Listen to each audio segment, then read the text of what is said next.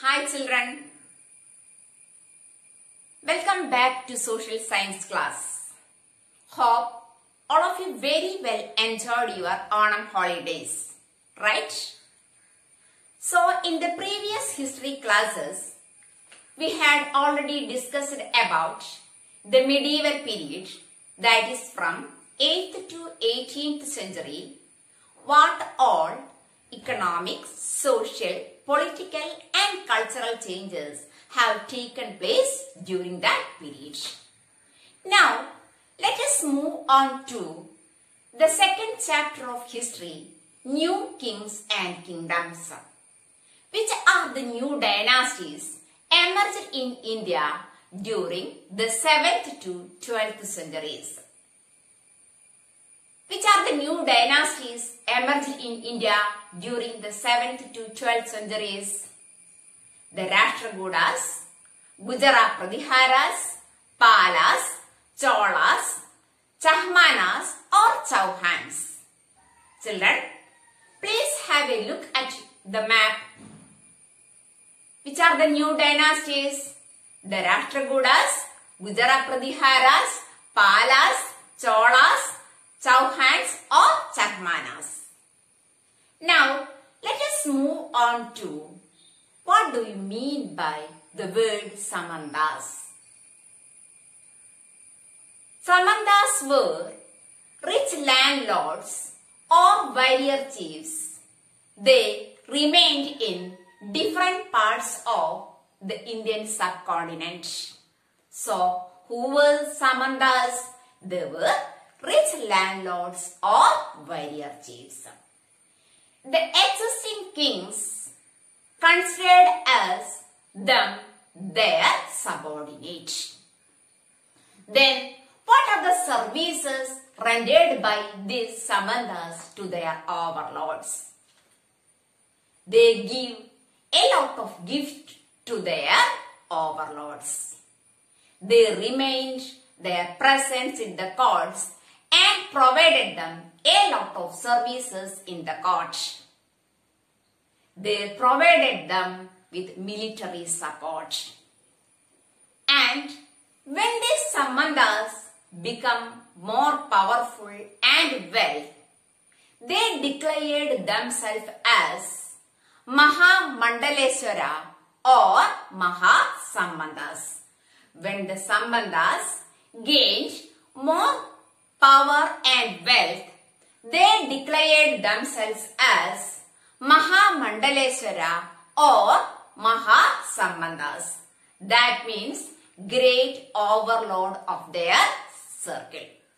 So, after gaining more wealth and powerful, they began to ascertain their independence from their overlords.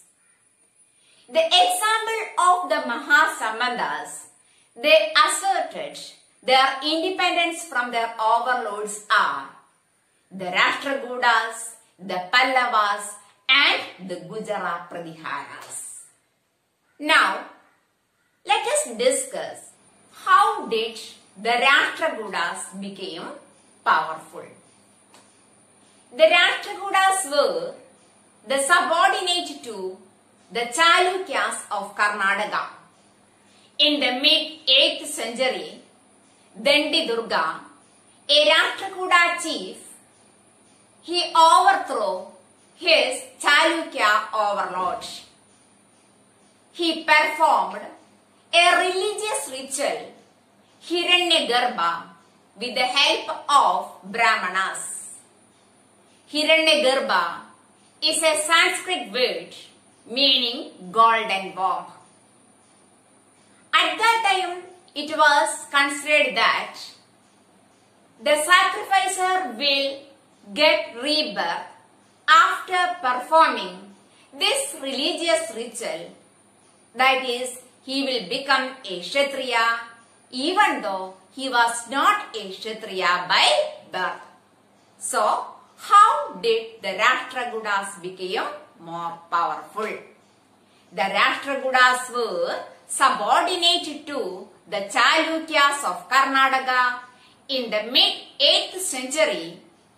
Dantidurga, a Rashtrakuta chief, performed a religious ritual known as Hiranyagarbha with the help of Brahmanas and he asserted his independence and established Rashtrakuta Empire.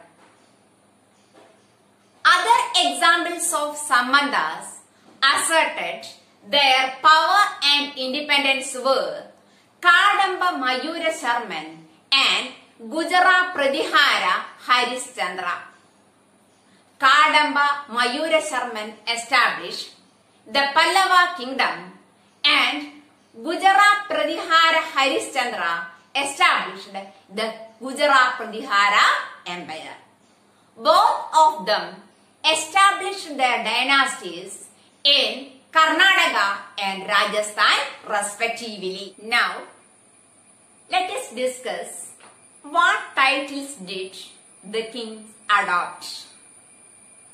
Most of the kings, after asserting their power, they adopted high sounding titles. They adopted titles such as Maharaja Adiraja and Tribhuvana Chakravarti. What do you mean by Maharaja Adiraja? The great king or overlord of king. Then what do you mean by Tribhuvana Chakravarti? That means lord of the three worlds.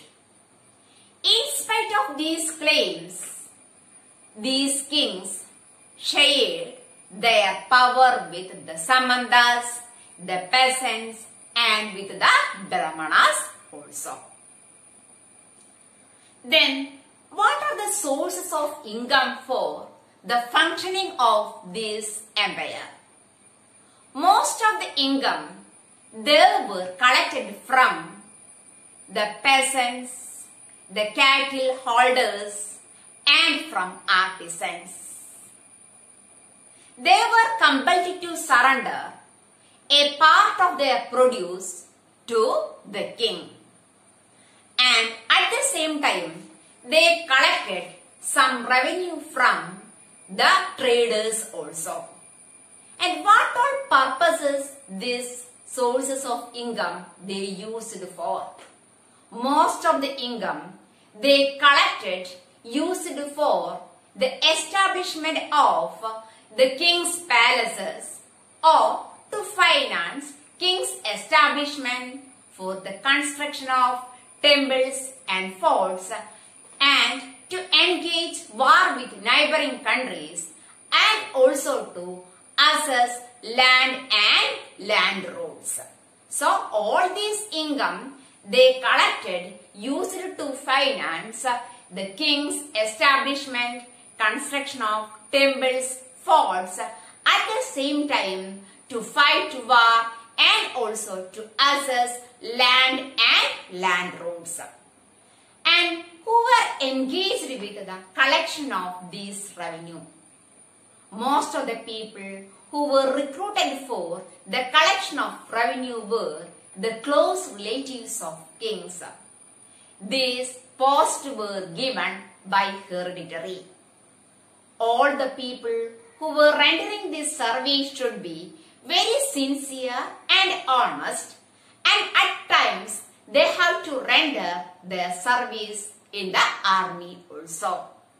So we had discussed about which are the dynasties emerged in India during the 7th to 12th centuries and how did the Samantas assert their power and all.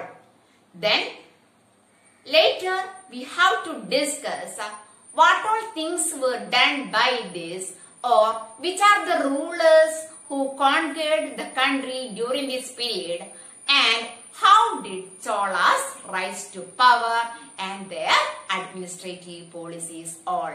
All these things we can discuss in your next class. Okay, thank you. Thank you children.